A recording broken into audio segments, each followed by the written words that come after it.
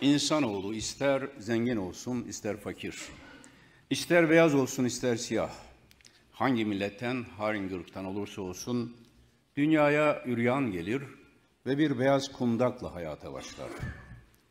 Ve insanoğlu ister mazlum olsun ister zalim, ister zengin olsun ister fakir, dünyanın neresinde olursa olsun beyaz bir kefenle dünyayı terk eder. Siyaset adamları, devlet adamları da siyasete beyaz bir gömlekle, lacivert ceketler içinde beyaz bir gömlekle başlarlar.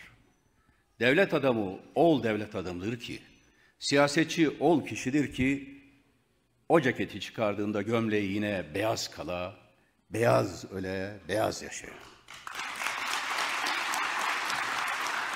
Değerli arkadaşlar, Gelecek ve Saadet grubumuzun değerli milletvekilleri, bugün size Beyaz'ın hikayesini anlatmak için huzurunuzdayım. Evet, biraz önce de söylediğim gibi bir kundağa sardılar bizi. Beyaz bir kundağa kulağımıza ezan okudular.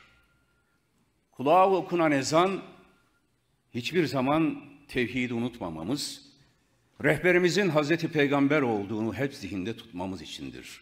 İlk o söz girer kulaktan içeri. Nice dualar söylenir ondan sonra hayırlı nesiller için. Ve hayat süreriz. Kimi uzun, kimi kısa.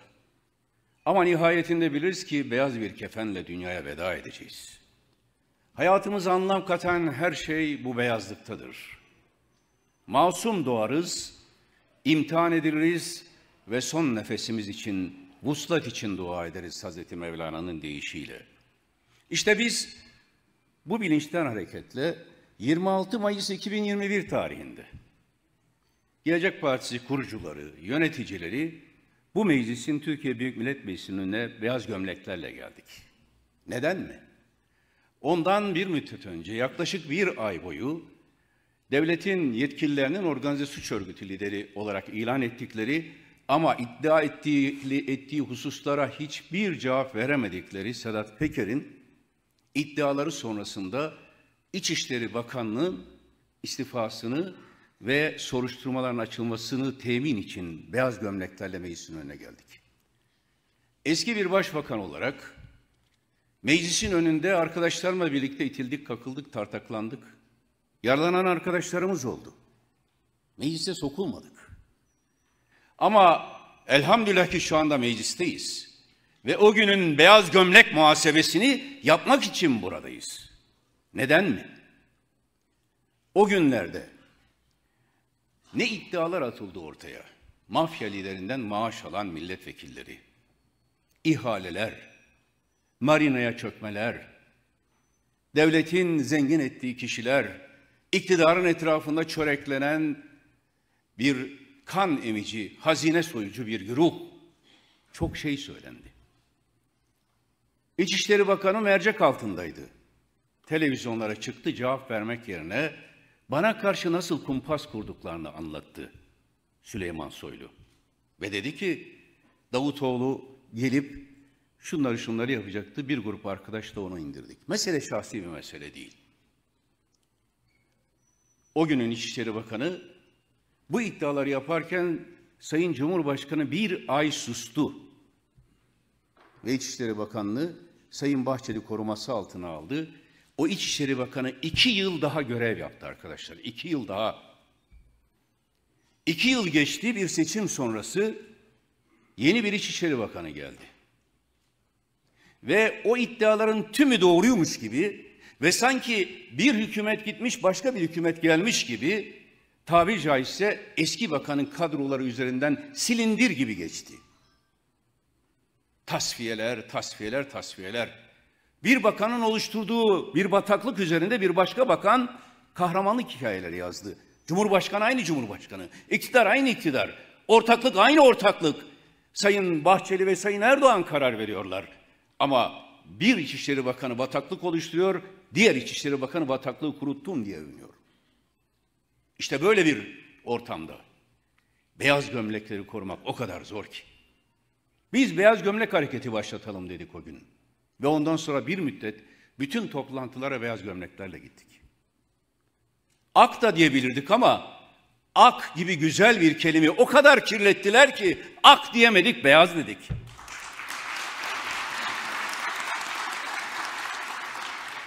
Yedi talepte bulunmuştuk o gün meclisin önünde. Türkiye Büyük Millet Meclisi'ne soruşturma açılsın. İçişleri Bakanı derhal istifa etsin. Mafyanın tik yapılardan devletin temizlenmesi için kapsamlı bir operasyon başlatılsın. Vesaire vesaire ve siyasi, temiz siyaset devrimi yapılsın. Bu ifadeyi kullanmıştık. Temiz siyaset devriminin esasları belliydi. İşte kumpas kurduk diye itiraf eden Süleyman Soylu'nun niçin kumpas kurdu, kurduğu da o si temiz siyaset devriminde gizliydi. Çünkü 2016'da 1 Kasım seçimleri sonrası siyasi ahlak yasası, imar yasası, rantiyenin e, vergilendirilmesi yasası, şeffaflık yasası, e, kayıt dışı ekonominin kayıt içine çekilmesi yasası vesaire. Bunları gündeme getirmiştik. Bir devrim yapacaktık. Yapmaya niyetliydik. İşte o çete harekete geçti. Şimdi şunu soruyorum. Bakın son dönemde hangi bakanla ilgili, hangi bürokratla ilgili herhangi bir iddia varsa arkadaşlar hiçbir soruşturma yapılmıyor. Bekleniyor, bekleniyor Sayın Cumhurbaşkanı'nın eşref saatinde o görevden alınıyor, uğurlanıyor. Öyle kapanıyor dosyalar. İki yıl sonra İçişleri Bakanı görevden alındı ama meclis koridorlarında dolaşıyor. Yeni gelen İçişleri Bakanı da onu tasfiye etmekle övünüyor, onun kalan bataklığını. Bir dezenfek, dezenfektan satan bir bakan, kendi bakanlığına dezenfektan şirketinden dezenfektan satan bir bakan, meclis kürsüsünden Sayın Cumhurbaşkanı tarafından uğurlanıyor. Kimse de şunu demiyor. Eğer görevden aldıysan sorumlu, e, e, niye mahkemede bir hesap vermiyor demiyor. İşte bunun mücadelesini verdik. Bir iş adamından 750 bin euro saat hediye alan bir bakan görevden alınıyor ama bunun hesabını versin dediğimizde devlet krizi çıkıyor. Öyle bir dönemde yaşıyoruz ki suçlular cezalandırılmıyor. Devletin her yerinden kara para aklama senaryoları geliyor. Vahşi servet transferleri geliyor. Bakın kara para aklama senaryoların aktörlerine Rıza Zarrab'a, Sezgin Baran Korkmaz'a ve dahi nicelerine. Hepsinin devletin en üstünden en altına kadar yetkililerle e, e, resimleri var, ilişkileri var. Türkiye Cumhuriyeti Devleti'nin bakanları Utah Mahkemesi'nde, Utah Mahkemesi'nde, New York Mahkemesi'nde yargılanıyor. Bu ne rezalettir. Ve şimdi torba yasa geldi. Bakın yeni bir kara para aklama operasyonu var. Torba yasada yurt dışında yüzde elli artı bir şirkete sahip bir Türk vatandaşı kazancını Türkiye'ye getirse yüzde elli gelir vergisi muafiyeti alıyor. Görünüşte iyi bir şey. Türkiye para getirecek. Peki bu paralar Türkiye'den nasıl çıktı? Kim çıkardı bu paraları Türkiye'den? Arkadaşlar varlık bahşişi denilen şeyin arkasında bir kara para aklama operasyonu var bu yolda. İmar barışı denilen şeyin arkasında da depremde e, e, yüz, on binlerce vatandaşımızın kaybedilen imar yolsuzlukları var. Bakın size bir rakam vereyim. Seçimlerden önceki 3 ayda 15 milyar 905 milyon dolar Türkiye'den çıktı. 15 milyar 905 milyon dolar. 28 Mayıs 14 Mayıs seçimlerinden 3 önceki 3 ay içinde. Ve seçimler bitti. Bu düzenin devam edeceği görülünce 15 milyar 575 milyon dolar geri geldi. Eğer bir değişiklik olsaydı o dolarlar gelmeyecekti. Şimdi diyor ki hükümet açık bir şekilde bu torba yasada diyor ki götürdüğünüz paraları geri getirebilirsiniz sizden vergi mergi almayacağım. Bu kadar yolsuzluklara bulanmış böylesine bir şey olamaz. Uyuşturucu baronları, uyuşturucu operasyonları yapılıyor. Yazık. Bir şekilde uyuşturucu şeyine bulaşmış torbacılar vesaireler içeride baronlar, baronlar bir takım siyasetçilerle sefa halinde. Şimdi büyük bir zenginleşme yaşandı, siyasi destekli zenginleşmeler. Bunun hesabını soracağım. Yani birer birer bazı şeyler anladıktan sonra esas AK Parti'nin o kitlelerine sesleneceğim. Bakın siyasi destekte servet transferleri. Şimdi yeni bir yasa, yine torba yasanın yasada bir madde. Torba yasada vergi iadeleriyle ilgili Cumhurbaşkanı yetkilerinin artırılması karara bağlanıyor. Yani diyor Cumhurbaşkanı bir gün diyecek ki şu şu şu şu firmalara vergi iadesi yapacağım. Anayasanın 70. Mad 73. maddesi ise diyor ki vergiyle ilgili düzenlemeler ancak kanunla yapılır. O vergi iadeleriyle birileri zengin edilecek. Asgari ücretten vergi alacak veya diğer işçinin primini alacak, emek, emeklinin yaptığı herhangi bir alışverişten ÖTV alacak ama şirketlerin vergilerini affedecek. Bu torba yasanın esası bu. Bu anayasaya aykırı. Anayasa Mahkemesi'nden muhtemelen, muhtemelen döner. Ama o kadar cesaretliler ki işte onun için Anayasa Mahkemesi kalksın diyorlar. Diyorlar ki kimse bize hesap sormasın. Biz istediğimiz parayı istediğine verelim. Rezerv alan adı altında istediğimizin evine, e, malına, mülküne konalım ama kimse sormasın. Temel anayasal haklar konusunda kimse bizden hesap sormasın. Şimdi hediyeler, komisyonlar adı altında her yere bulaşmış bir rüşvet düzeni var. Her yerde. Artık raiçler belirlenmiş. Nerede neyin yapılacağı ile ilgili. Kur korumalı mevduatın hep faiz yönüne dikkati çektik. Ama bir yönü daha var arkadaşlar. Kur korumalı mevduata yatırılan paranın kaynağı nereden? Kimse sordu mu? Sen şu kur korumalı mevduata şu kadar para yatırdın. Bu param vergilendirilmiş bir para mı? Bu parayı nerede kazandın? Bir çiftçinin ödeyemediği Ziraat Bankası borcu için traktörüne haciz koyuyorsun da adam getiriyor bir milyon dolar koyuyor kur korumalı mevduata kısa sürede parasına para katıyor. Sormadılar. Bakın kur korumalı mevduatın arkasında katmerli faiz vardır bir, belli bir zümrenin haram yolla kazandığı paraları aklama vardır iki. Bunun hesabını sorduğumuzda da nas diyor Sayın Cumhurbaşkanı. Nas, rüşvet alanı melun gören hadistir nas. Evet, rüşveti alan da veren de melundur. Bu düzeni kuran da melundur.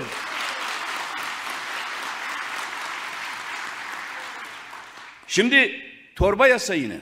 Torba yasada kur korumalı mevduatta kurumlar vergisi istisnasız uzatılıyor.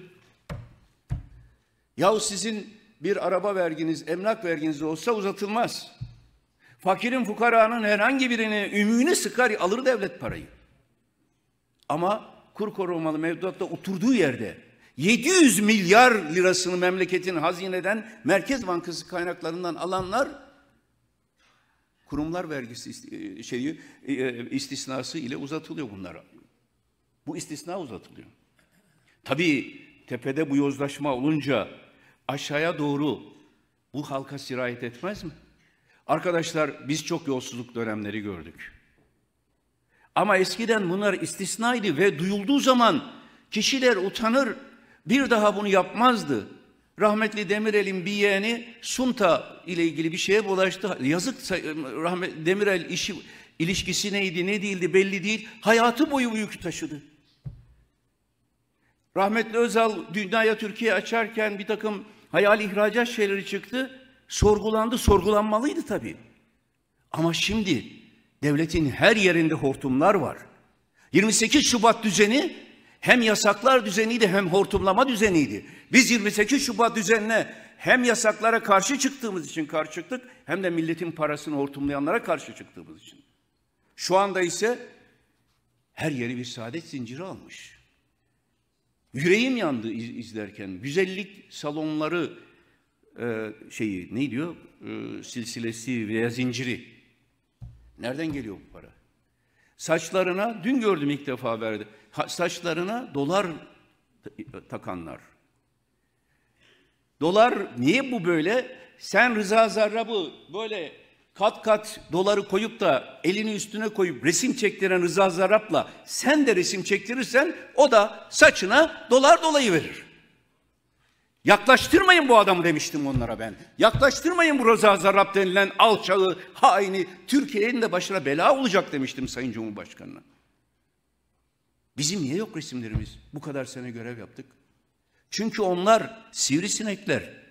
Hangi bataklığa gideceğini bilir.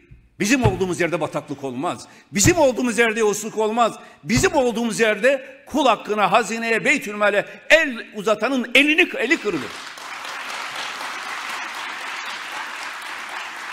Şimdi kamuoyunun tanıdığı, sevdiği meşhur futbolcular. Yüzde iki binlere varan faizler ya. Yıllık yüzde dört faiz dolar bazlı yüzde iki bin. Sormuyorlar. Neden bu faizi bana hangi gerekçeyle veriyorsun dünyada olmayan bir faizi? Niye? Bakıyor yukarıya kur korumalı mevduata sormadan ve aktarıyorlar paraları hazineden. Ve bu paraları alanlar da bu güzellik salonlarını alan açanlar da dönüp diyorlar devletimize hesap veriyoruz. Devletimiz, bayrağımız, ezanımız artık vatan, devlet, bayrak, ezan diyene millet şüpheyle yaklaşıyor. Bu kavramları kirlettiler. Nerede bir yolsuz varsa eskiden 28 Şubat'ta bir yolsuz o yolsuzluğunu örtmek için inşaat imar yolsuzluğunu önüne bir Atatürk heykeli koyardı. 28 Şubat'ın kutsalı o idi. Şimdi de vatan, bayrak, millet diyerek bizim kut, yine kutsal kuts, bizim kutsalımızı da aynen yolsuzluklara perde yapıyorlar. Usul aynı usul, yöntem aynı yöntem. Siyasi destekli soygunlar var arkadaşlar. Adını koyalım. Bunlar ihale mühale değil. Bunlar soygun, soygun. Bakın, geçen hafta sonu Sakarya'daydık. Sadece Sakarya ölçeğinde, Sakarya Kongresi'ne verdiğim örneği söyleyeceğim. Sadece Sakarya Kongresi'nde verdiğim örneği Sakarya ile ilgili. 2010 yılında Arifiye Karasu Demiryolu ihale edildi. 360 milyon lira. Tabii bunları o günkü rakamlarla ta, şey yapın, ta, ta, ta, ta, takip edersiniz. 360 milyon lira. 2000, ben görevim gelince burada bir kokular sezdim. Ayhan Bey hatırlayacak arkadaşlara bunu bir tetkik edin dedim. Burada bir yanlışlar var. Üzerine gittik. Daha sonra 2018 yılına kadar sürdü. 2018 yılında 825 milyon lira harcandı buraya. Ve bugün Sakarya, Arifiye, Karasu e, demir yolunda tek bir ray, tek bir proje hiçbir şey yok. 2019 Sayıştay raporunda da yolsuzluk olarak geçti. Nereye gitti bu 825 milyon lira? Kime gitti? Bir müptezel var. Bakın söyleyeyim. Artık madem ki beyaz gömlekle bir mücadele satına çıktık, herkesin adını koyacağız. Bir müptezel var. Sırf Cumhurbaşkanı'ndan yararlanabilmek için ona ilyana aşk eden, Hazreti Mevlana'ya hakaret eden bir müptezel hepiniz bilirsiniz. Bu kişi bir takım örtülü operasyonlarda kullanıldı şimdi gözden düştü. Bakın birisi gözden düşmüşse Süleyman Soylu gibi bu da Ethem Sancak. Şimdi Mao'cu bir çeteyi finansmanla meşgul. Şimdi arkadaşlar bu kişi ta, e, bir tank palet fabrikasının önce yüzde 49'unu Katar'a sattılar onlara devrederek yüzde 51.1'ini de 50.1'ini de 480 milyon dolara sattı. Talip Öztürk. Yine yakınlardan birisi birlikte. Başka bir firmaya sattı. 480 milyon dolar karşılığı alırken ne yaptı? Memlekete hangi çiviyi çaktı? Ne yaptı da 480 milyon doları aldı bu vatandaş? Yanında da bir yakınla birlikte. Bugünkü parayla 14 milyar Türk lirası ortada. Hiçbir şey yok. Karasu Organize Sanayi Bölgesi'ni kurmaya kalktılar. O gün bakanlar kurulunda olanlar bilir. Göz açtırmadım. Tek tek buraya bu güzel bir projeydi. Organize sanayi bölgesi yapılacaktı. Bu organize sanayi bölgesi tek bir şirkete, bu kişinin şirketine verildi. Ve kendi ifadesiyle buraya altyapı yatırımı için 2.4 milyar Türk lirası destek aldı bu kişi. Şu anda gidin Karasu Organize Sanayi Bölgesi'nde bütün altyapı söküldü. Hiçbir şey yok. Toplamını yapın bakalım. Neredeyse o günkü rakamları bugüne çevirin 30-40 milyar liralık bir kaynak aktarımı var Sakarya'da. Bu bir tek Sakarya ölçeği arkadaşlar. İşte biz bunun için siyaseti bir mücadele sattı olarak gördük. Şimdi bu siyaset destekli soygunla, soygunlara, soygun düzenine bir son vermek lazım. 10 Şubat 2021'de biz temiz siyaset belgesini açıkladık. Otoriter yolsuzluk düzeni adını koyduk buna. Otoriter yolsuzluk düzeni.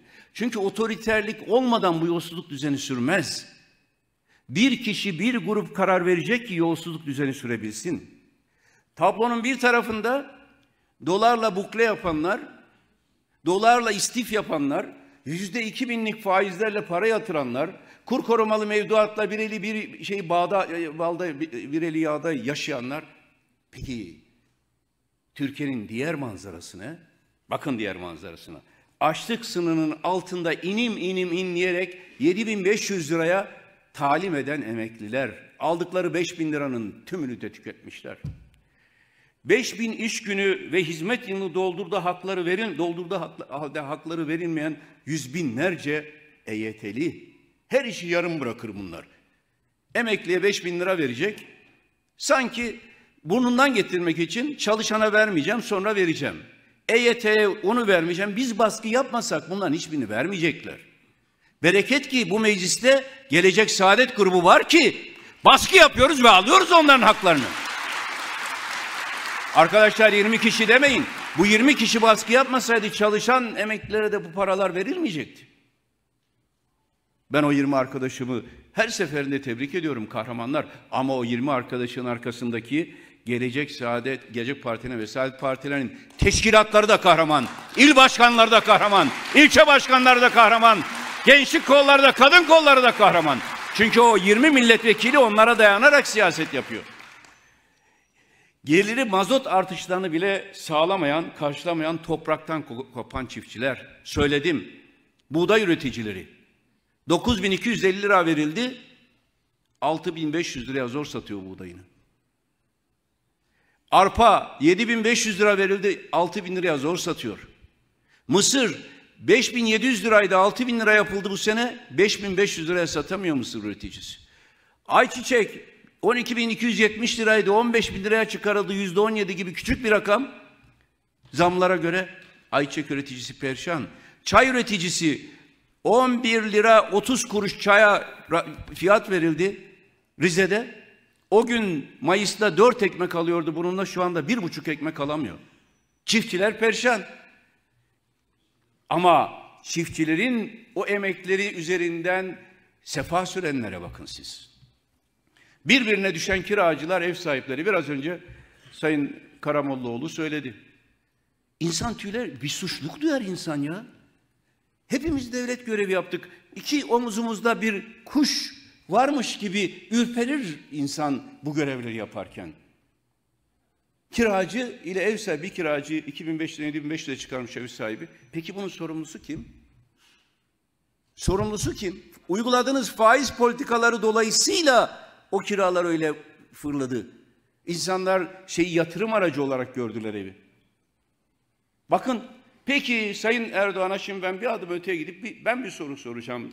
Sayın Karamollaoğlu'nun halkta sorduğu soruyu. Vakıflardan iş yeri ve ofis kiralayana, bu sene vakıflardan iş yeri ve ofis kiralayana yüzde 300 ile yüzde 500 zam yapıyor vakıflar, devletin vakıfları. Yüzde 300, yüzde 500. Vakıflardan bir yer kiralamışsınız. Ha devlet yüzde 500 zam yapacak, bunda vicdan olacak. Öbür tarafta ev sahibini suçlayacaksın. Suçlu sen, sizsiniz. Şimdi o zaman sorarız biz devlet kendi kiralarına, kendi harcırahlarına enflasyon nispetinin üzerinde zam al, zamla aldığınızda Allah aşkına sizde hiç vicdan yok mu? Gücünüz sadece fakire fukaraya mı yetiyor? Biraz da uyuşturucu baronlarına uzansanıza, biraz da rantiyeye uzansanıza, biraz da oturduğu yerden para kazananlara uzansanıza. Hayır. Onlar ortaklar. Selde, su altında selde, sel felaketi dolayısıyla bütün vatandaşlarımıza geçmiş olsun diyorum. Selde çadırları su altta kalan depremzedeler. İşte geçen sene Bozkurt, Kastamonu'da hala bir yılda yapılmadı bu iş, şeyler. Oradaki sel felaketinin yaraları sarılmadı. Bakın bir, bak, bir tarafta bakımsızlıktan yapılamayan KYK'nın sanki parası yok, devletin parası yok, asansörlere bakamıyor. Ama devletin parası var, kur kolu mal mevduata aktarıyor. Bak, bakımsızlıktan asansörlerde can veren gençler var. İktidarın genel merkezinde kokain tüketen pudracı gençler var.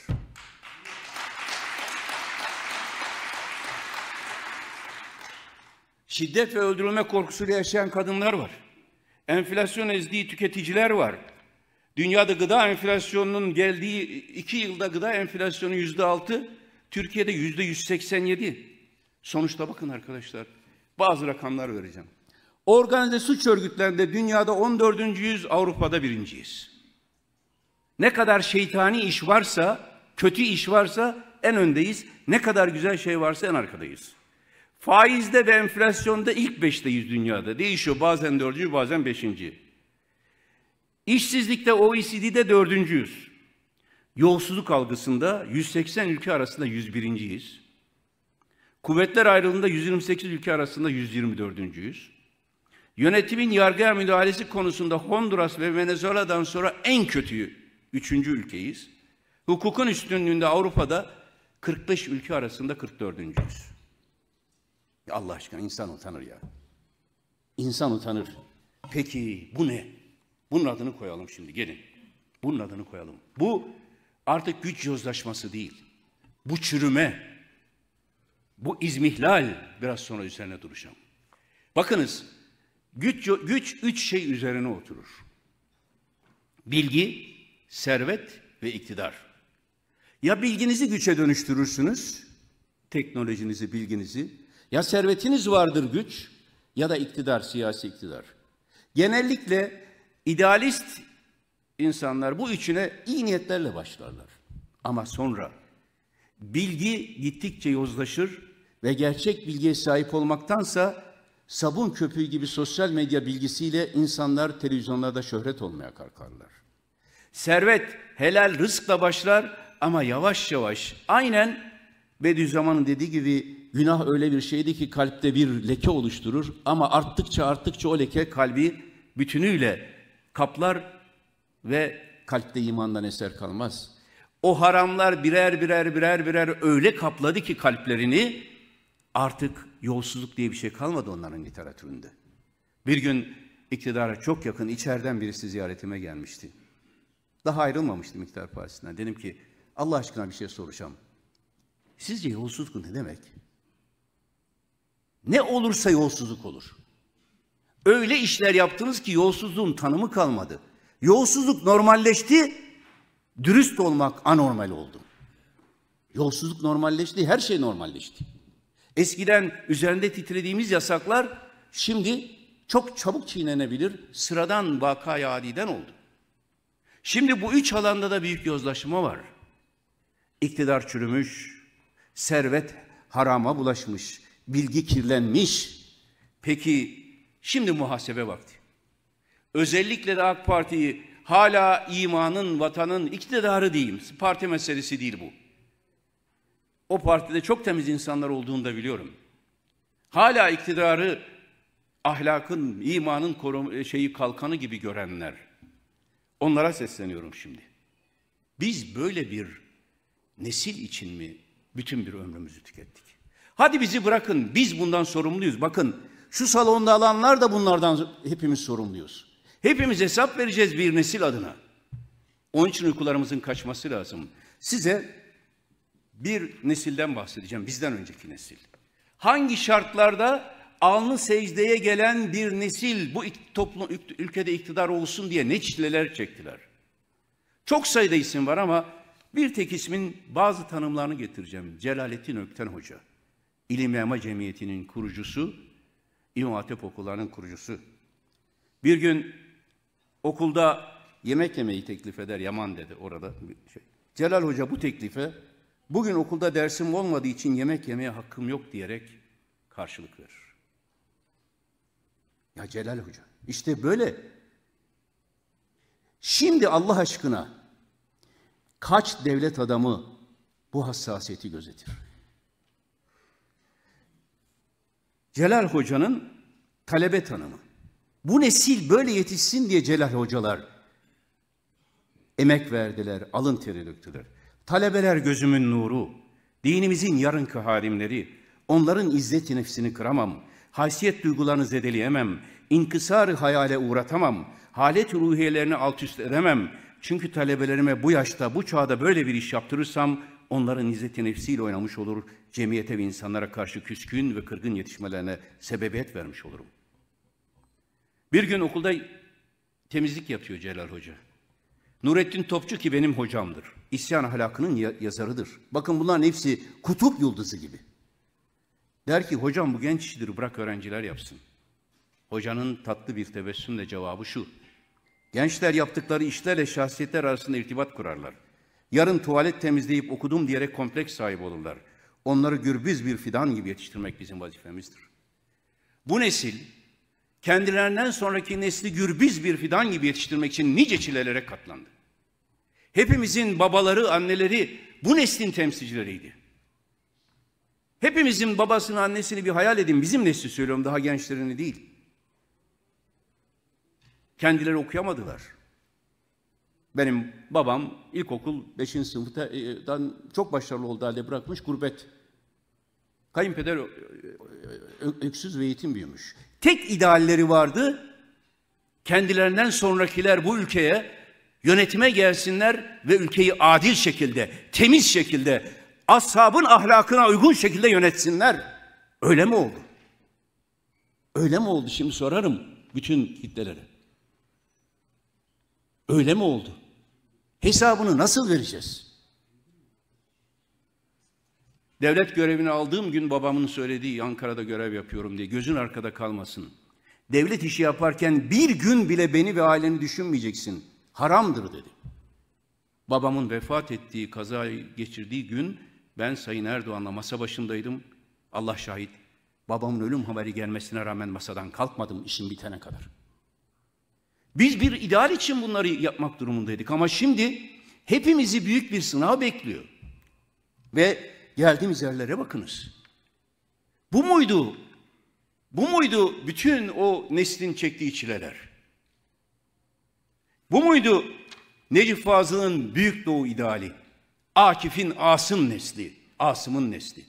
Nurettin Topçu'nun isyan ahlakı. Emin olun Gönenli Mehmet Efendi Sultanahmet'te hutbe, e, hutbe okurken insanlar fevç fevç o camileri dolduruyordu. Eğer bugün Gönenli Mehmet Efendi gelse ve bugünkü hutbelerde konuşulanları görse hepsini sopayla camiden kovar. Çünkü vicdanıyla hutbe okurdu onlar. Devlet fermanıyla hutbe okumadılar. Neyin hesabını vereceğiz? Her şey toz pembe dersek biz son nefeste bu beyaz gömleklerden sonra bir imtihana çekildiğimizde, o kefene girdiğimizde ne diyeceğiz? Bakın ne diyor Celalettin, Celal Hoca, Celalettin Ökten Hoca. Dindar görüneceğiz diye mutasip olmayan, aydın desinler diye de taviz verme, vermeyen bir nesil istiyoruz. Şarkı da garbı da iyi bilen, tavizsiz ama müsamahakar bir nesil. Mutasip olmak te, tahkiki iman açısından da yasaktır, doğru değildir. Ne bir kişinin mutasıbı olmak üzere nesil yetiştirilir, ne bir partinin mutasıbı olmak üzere nesil yetiştirilir, ne de bir grubun veya zümrenin. Müslüman özgür şahsiyet, özgür kişidir. Aynen Celal Hoca'nın dediği gibi genç ancak şahsiyetle güç bulur. Ama bugünkü gençler önlerinde gördüğü örneklerle çileli bir yola girip helal para kazanmaktansa bir an önce servet edinmek, bir an önce lüks arabalara binmek, bir an önce mevkiye ve makama gelmek, bir an önce meşhur olmak peşindelerse bunun sorumlusu o gençler değildir. Nasıl gür bir çınar fidanı diye ifade ettiği Celal Hoca bizim yetişmemizde bütün ecre sahipse açık ifade ediyorum. Kendimi de dışarı koymadan söylüyorum bu neslin yaşadığı yanlışlıklar sebebiyle bütün bir bütün bir iktidar ve herkes hesap makamında olacak. İşte arkadaşlar bunu tekrar tekrar sormak, tekrar tekrar sorgulamak durumundayız.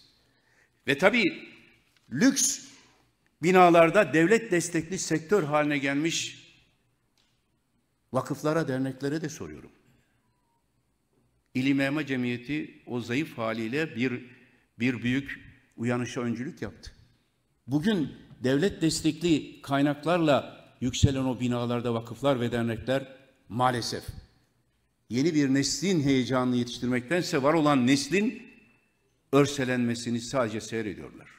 Şimdi gelelim sorgulamanın en can alıcı noktalarına. Nerede rüşvet alan da veren de mevlundur hadisine uyanlar. Nerede emaneti ehline veriniz hükmünü yerine getirenler. Nerede devlet memuru hediye alamaz diyerek aldığı hediyeleri Beytülmal'e veren zekat memurlarının ahlakı. Nerede devlet mumu ile özel işlerini görmekten kaçınan Ömerler, nerede kadı ile önünde gayrimüslim ile hesaba çekilebilen fatihler.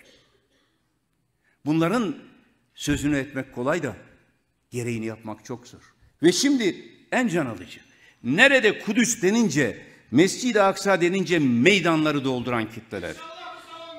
İnşallah, inşallah. Türkiye'den değerli arkadaşlar, Filistin yüreğimizi yakır. Türkiye'den şu ana kadar 300 gemi İsrail'e gitti. 300. Eğer bu gemileri arka arkaya dizseniz buradan Kırıkkale'ye kadar bir konvoy oluşur. Kırıkkale'ye kadar. İçinde ne var bu gemilerin? Petrol var. İçinde ne var bu gemilerin? Demir çelik var. Gıda var. İsrail'in demir çelik ihtiyacının hala üçte biri Türkiye'den gidiyor arkadaşlar. Birileri Ankara'da efendim e, slogan atıyor ama demir çelik Türkiye'den gidiyor. Bir demir çelik firma sahibi geçenlerde bir arkadaş üzerine. Bizim anlaşmamız var gönderiyoruz bir de de kesin diyen kimse yok. Birçok talepte bulunduk. Bakın hala 20 Kasım'da gitmesi söylenen Türkiye Büyük Millet Meclisi heyeti gitmedi refah kapısına. Sayın Erdoğan'a söylüyorum. Belçika, İspanya başbakanları refah kapısının önüne gitti de sizler niye gitmiyorsunuz? Onlara izin veren Mısır size izin vermeyecek mi? İnsanlara boykot tavsiyesinde bulunmak doğrudur. Ama ne zaman İsrail'e destek veren şirketleri siz boykot listenize alacaksınız? Benim de çok saygı duyduğum bir kanaat önderi çok güzel bir video yayınladı. WhatsApp gruplarında geniş kapsamlı olarak yayılıyor son günlerde. Boykotu teşvik için Hicri 6. 7. yüzyılda yaşamış Şafii fakih, fakih e, e, İbn Abdüsselam'ın fetvasını söylüyor Haçlılar geldiğinde. Fetva yayınlıyor. Haçlılarla alışveriş haramdır diye. Çünkü zalimdir diye. Bir terzi soru soruyor. Ben sadece iğnelerini dikiyorum düğmelerini. O da haram mı? Zulme ortak mı olmuş olurum? İbn Abdüsselam'ın cevabı. Zulme ortak olmazsın. Zalimin ta kendisi olursun. Şimdi bir bunu söyleyen kanaat önderini saygıyla, hürmetle buradan selamlıyorum. Ama dönmek gerekmez mi? Bir iğne için bu geçerliyse, İsrail'e giden demir çelik için, yakıt için, bunların parçası olanlar sadece zulme ortak mı oluyorlar? Zalimin ta kendisi mi oluyorlar? Onlara niye sesimiz çıkmaz? Niye onlara sesimiz çıkmaz? İşte bütün bu hercümerç içinde bir husus daha dikkatlerden kaçtı. Tarih 26 Ekim 2023. İs, is, e, şeyde soykırım devam ederken Gazze'de Mavi Marmara davasında bir gelişme yaşandı. Mavi Marmara gecesini de unutmam. Onun için verdiğim mücadeleyi de herkes bilir. Birleşmiş Milletler Güvenlik Konseyi'ne İsrail'in yetkisine bakarak te terör devleti dediğimi de herkes bilir. Bu dava hepimizin davası. Yargıtay Cumhuriyet Başsavcılığı 26 Ekim 2023 tarihli tebliğname ile yerel mahkemenin verdiği düşme kararlarına yönelik imtiyaz, te, temiz itirazlarının reddini talep etti. Yani temiz için başvuru yaptığı Mavi Marmara mağdurları Yargıtay Başsavcılığı hayır temiz edemedi. E, bu bunu, bunu reddetti. Hem de İsrail uçakları Gazze'yi bombalarken bu kararı aldılar Ankara'da. Yazıklar olsun size. O şehitlerin hesabını nasıl vereceksiniz? Değerli arkadaşlar, değerli arkadaşlar, artık çok güzel bir deyişle konuşmamı noktalamak istiyorum.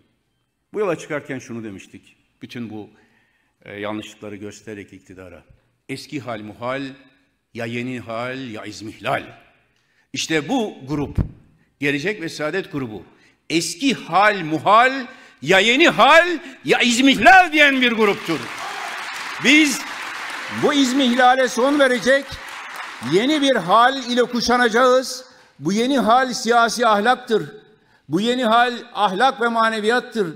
Bu yeni hal temiz siyasettir. Bu yeni hal görevlere başladığımız gömleklerin beyazlığını görevleri bitirdiğimiz anda da muhafaza edebilme ahlakıdır.